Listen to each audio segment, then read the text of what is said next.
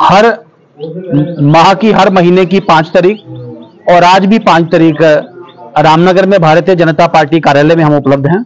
मेरे साथ, रामनगर के जो माननीय पार्षद श्रीमान जटूराम जी, रामनगर वन के पार्षद श्रीमान मूलराज जी, रामनगर से पूर्व के मंडल अध्यक्ष श्रीमान कुलदीप शर्मा जी, मास्टर जी अपने मास्टर रामलाल जी, मास्टर गोपाल जी, पंकज जी, जगमोहन जी, युवा प्रधान हमारे मोहनलाल शर्मा जी, कुलदीप जी, और बस्सी के पंच हमारे और बस्सी की पूरी जितनी भी टीम है हमारी आज, हमारे हमारे साथ आज यहाँ मौजूद है।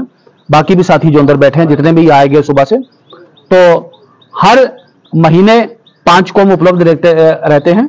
लोगों की रोज़मर्रा की परेशानी या एडमिनिस्ट्रेशन को लेके, या लोकल इंतजामियों को लेके जो भी परेशानी है, उसको दूर करने की कोशिश की जाती है स्पॉट डिस्पोजल करने की कोशिश की जाती है। आज एक परम अनुरोध यहाँ की एडमिनिस्ट्रेशन और विशेषकर जिला इंतजामिया को करना चाहेंगे कि एकदम ये मानसून का सेशन रोज बारिश हो रही है और बारिश के लिए जिस तरीके से एडमिनिस्ट्रेशन को ब्रेसअप करना चाहिए, उस किस्म की तैयारी थोड़ी कम लग रही है हमें। बिजली की जो लाइन है, उसमें अनशेड्यूल्ड जिसे कहते हैं पावर कट चल रहे हैं। पानी के जो जो, पानी की जो सप्लाई लाइंस है, वो भी तकरीबन सस्पेंड पड़ी हैं। और जल जीवन मिशन के नए कनेक्शन अभी चले नहीं है, पुराने कनेक्शन जिसे कहते हैं, अभी डिसफंक्शनल हैं। और इन सब के साथ साथ जो इरीगेशन कैनाल और छोटे छोटे लिंक रोड हैं, काफ़ी मकान भी जिसे कहते हैं गैर हो गए हैं, उसमें परेशानी आ गई है काफ़ी। और मेरा परम अनुरोध है कि एडमिनिस्ट्रेशन थोड़ा अपने आप को गियर करे।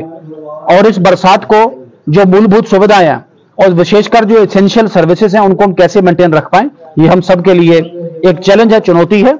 और हम सब चुने हुए प्रतिनिधियों से भी मेरा अनुरोध है कि ये भी एडमिनिस्ट्रेशन के साथ लेजर रखें, हम भी रखेंगे। और लोगों को ताकि कोई परेशानी ना हो बारिश के मौसम में, थोड़ा लोग भी आने जाने में, छोटे नालों में या छोटे जिसे कहते हैं स्ट्रीम्स में थोड़ा आने जाने से थोड़ा परहेज रखें। दूसरा, यहाँ पे जैसे बताया गया अभी की एक डिटेल वोटर रिविजन चल रहा है। जम्मू कश्मीर और विधानसभा चुनावों की ओर चल रहा है। इस विधानसभा वोटर रिविजन में एक जुलाई 2024 को जो 18 वर्ष का हुआ है अपना वोट बनवा सकता है।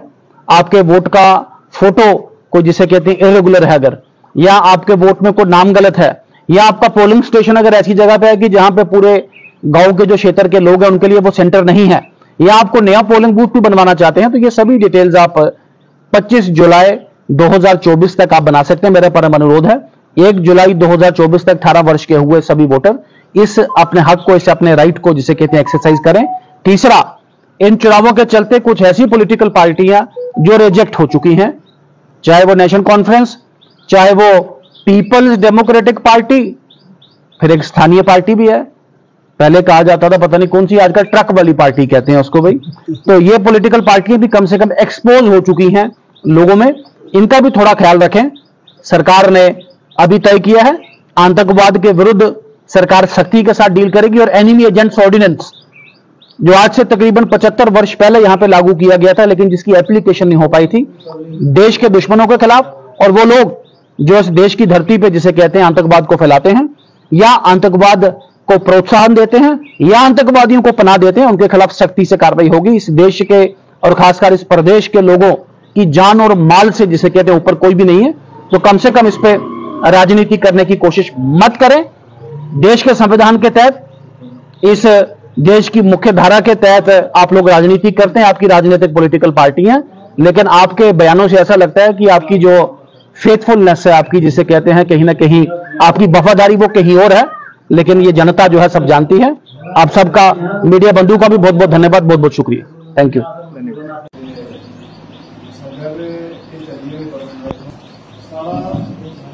ਇਹ ਚੱਲੀਏ ਪਰਸਨ ਸਾਰਾ ਪੁਰਾਣੀ ਪ੍ਰਾਪਰਟੀ ਦਾ ਤੇ ਸਾਰਾ ਜਿਹੜਾ ਹੋਣ ਕੇਸ ਚਲਾਦਾ ਸਾਰਾ ਸਾਨੀ ਨੂੰ ਹੁੰਦਾ ਤੇ ਆਪਾਂ ਇੱਥੇ ਇਹ ਕਹਿਣਾ ਡਿਵਾਈਡ ਕਰੋ ਫਿਰ ਕੁਝ ਜ਼ਿਆਦਾ ਤੋਂ ਹੁਣ ਪੈਸੇ ਉਠਵਾ ਕਿਹੜੇ ਪਾਸੇ ਕਿੰਨੇ ਕਿੰਨੇ ਵਾਲੀ ਬੁਲਾ ਤੁਸੀਂ ਬੜਾ ਦੁਬਾਰਾ ਹੋ ਤੁਸੀਂ ਬੁਲਾ हाँ अच्छा फिर मुझे पूछा सर सारा मेरा कितना ले तो सर ये इस जगह के थे ये